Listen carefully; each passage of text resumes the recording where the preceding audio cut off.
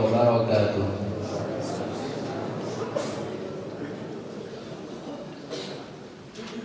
نحمده ونصلي ونسلم على رسوله الكريم. أما بعد فأعوذ بالله من الشيطان الرجيم. بسم الله الرحمن الرحيم. لا يؤمن أحدكم حتى أكون أحب إليه. من والده وولده والناس أجمعين. صدق الله العظيم. تمہاری شان میں جو کچھ کہوں اس سے سوا تم تمہاری شان میں جو کچھ کہوں اس سے سوا تم ہو۔ قسیم جان ارقائی شہیر احمد رضا تم۔ حضرات محترم، آج میری تقریر کا عنوان اعلیٰ حضرت کی نعتیہ شاعری میں محبت رسول کا پہلو۔ اس پر روشنی ڈالنے سے پہلے ہم اور آپ سب مل کر پیارے آقا کی پیاری بارگاہ میں درود شریف کا نذرانہ پیش کریں اور پڑے بابا سے بلند درود نواز۔ اللهم صل على سيدنا نبينا مولانا محمد وعلى اله واصحابه وبارك وسلم. صلاة وسلام عليك يا رسول الله صلى الله تعالى عليه وسلم. عشق مصطفیٰ صلی اللہ تعالی علیہ وسلم قوم مسلم کا وہ گرا قدر سرمایہ اور عظیم کوئی نور ہے، جس کی بنیاد پر عاشقان مصطفیٰ علیہ تحیت السنا کے اندر ہر بست کو بالا کرنے اور ہر منزل کو سرا کرنے کا حوصلہ پروان چڑھتا ہے۔ یوں تو عشق رسالت کی اظہار کی بے شمار ذرائع ہے مگر ان سب میں نعت مقدس عشق والہانہ کی اظہار کا سب سے خوبصورت اور حسین ذریعہ ہے۔ جب تک عشق رسالت سینے میں جلوہ گر نہ ہو محض لفظوں کی بازی گیری اور ردیف قوافی کے حسن نظم سے اس صرف مقدس کا حق ادا نہیں کیا جا سکتا ہے۔ جب فن اپنے کمال پر ہو اور دل میں عشق نبی کا دریا موج زن ہو، آنکھیں محبت رسول سے چمک رہی ہو، دل کی گلی کوچوں میں رسول اللہ کی الفت و محبت کے جھنڈے نثر ہو۔ جب قلب و جگر میں کبھی غم، کبھی ترب کا ہجوم ہو، جب دل عشق مصطفیٰ کی تحریز پر خندہ زیر لگ ہو تب ناطق رسول کا حقیقی معنی و مفہوم ادا ہوتا ہے۔ شریعت اور شریعت کی اصول ضوابط کی مکمل پاسداری کے بغیر نات کی صحراؤں کا مسافر کبھی منزل مقصود سے ہم کنار نہیں ہو سکتا ہے۔ اس لیے کہ جو اس راستے سے بھٹکا، وہ نہ دین کا رہا، نہ دنیا کا۔ حضرات جب بھی اردو شاعری میں عشق رسالت کی بات ہوتی ہے، تو ہمارے ذہنوں کے حاشیوں پر ایک ہی نام ابھرتا ہے، وہ نام امام محمد رضا کا ہے۔ امام محمد رضا، وہ سچے عاشق رسول تھے، جنہوں نے ناد گوئی سیکھی، تو صرف جان کائنات کی تعریف و توصیف کے لیے سیکھی۔ آپ نے اپنے آپ کو عشق رسالت کے سمندر میں اس طرح گوتا زن کر لیا تھا کہ کبھی کسی اور موقع ہی نہ ملا۔ کہ یہی وجہ تھی جب راجہ نان پارا نے اپنی تعریف و توسیم میں اعلیٰ حضرت سے اشعار کہنے کی درخواست کی تو میرے پیاری رضا، بے ساختہ پکارے تھے۔ کروں مد ہے، اہل دول رضا، کروں مد ہے، اہل دول رضا پڑے اس بلا میں میری بلا میں قطع ہوں اپنے قریب کا میرا دین پا رہے نہ میرا دین پا رہے نہ حضرات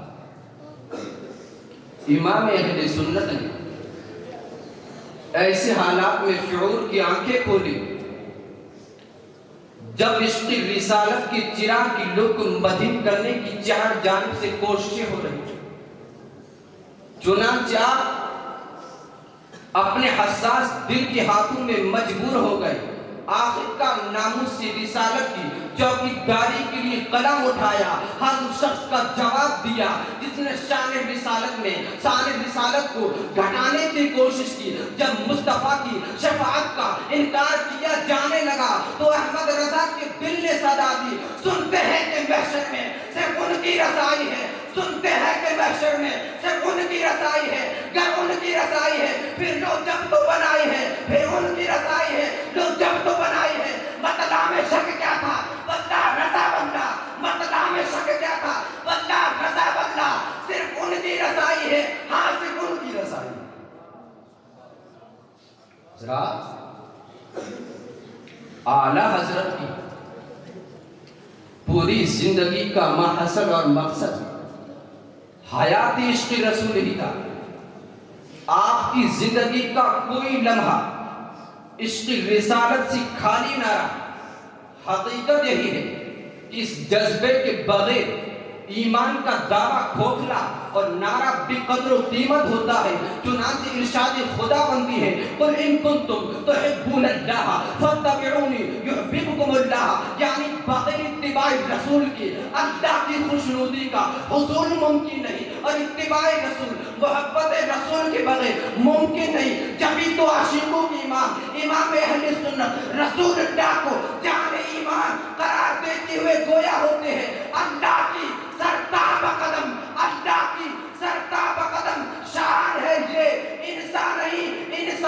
وہ انسان ہے یہ قرآن تو ایمان بتاتا ہے انہیں قرآن تو ایمان بتاتا ہے انہیں لیکن ایمان یہ کہتا ہے میری جان ہے ایمان یہ کہتا ہے میری جان ہے اسی بات کو دوسرے پہرائے میں ڈھال کر پیش کیا تو اس کی رسالت کی حقیقت اور واضح ہوتی ہوئی نظر آتی ہے کہ جان ہے عشق مصطفیٰ جان ہے عشق مصطفیٰ، روز فضو کرے خدا، جس کو ہو، درد کا مزہ ناز دوا اٹھائے۔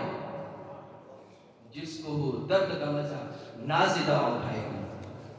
حضرات، اعلی حضرت نے اپنے اشعار میں جا بجا عشق رسالت کی اہمیت اور اس کی عظمت اور اس کے اثر کو بیان کیا ہے۔ آپ فرماتے ہیں رسول کا عشق کوئی عام عشق نہیں ہے۔ یہ وہ عشق ہے جو رضا الہی کا سبب ہے۔ یہ وہ عشق ہے جو موت اور قبر کی درمیان سختیوں سے نجات کا پروانہ عطا کرتا ہے۔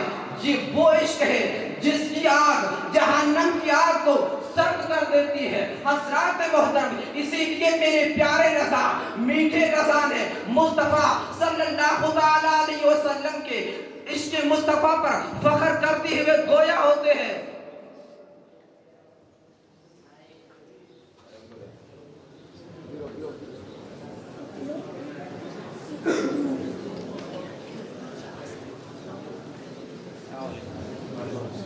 نعرہ تکبیر، نعرہ سالت، علماء اہل سنت مسلکی اعلی حضرت، فیضان یکبری فیضان محمودی۔ نعرہ تکبیر، نعرہ سالت یہ وہ عشق ہے جو موت اور قبر کی سختیوں سے نجات کا پروانہ عطا کرتا ہے۔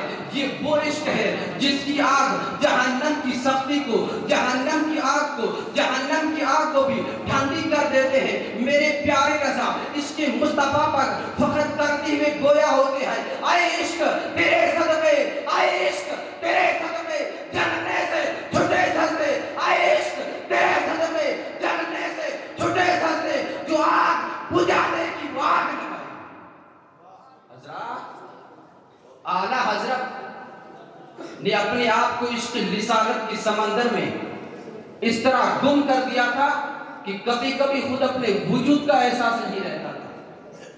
یہ عشق رسالت ہی کا اثر ہے کہ آج چمنستان شعر السخن میں اعلی حضرت کی ناطیہ شاعری کی دھوم مچی ہوئی ہے، کیونکہ اعلی حضرت نے ناطیہ شاعری برائے نہیں کی، بلکہ محبت رسول میں، محبت رسول میں مجبور ہو کر قلم اٹھایا، اس کی رہنمائی رہنمائی اس کی رسالت، رہنمائی کرتا گیا۔ اعلیٰ حضرت لکھتے گئے، زمین و زمان تمہارے لیے، مکین و مکہ تمہارے لیے، چنین و چنا تمہارے لیے، دہن میں زبا تمہارے لیے، بدن میں جہاں تمہارے لیے ہم آئے یہاں تمہارے لیے، مجھے بھی وہاں تمہارے لیے۔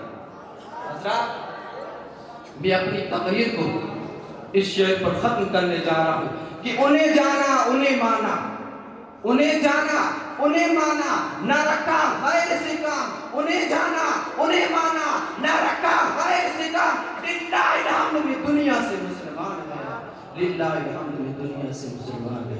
السلام علیکم ورحمۃ اللہ وبرکاتہ۔ وعلیکم السلام اب محمد انور سامن عنوان سیرت رسول، اخلاق